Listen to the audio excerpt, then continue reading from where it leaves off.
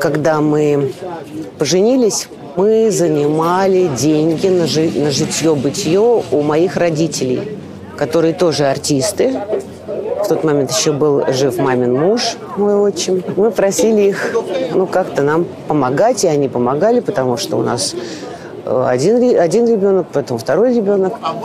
Вот и мы жили, мы брали в долг, потом мы брали в долг у у тех, у кого были деньги, потому что мы очень хотели увеличить нашу жилую площадь, но у нас не хватало на это денег. Жили, что-то копили, не копили, потом какие-то проекты. Да, действительно, на зарплату артиста жить, ну, можно в, в лучшем случае платить за квартиру и ну, покупать хлеб. Судьба артиста, она такая, это все зависит от чего-то оттуда.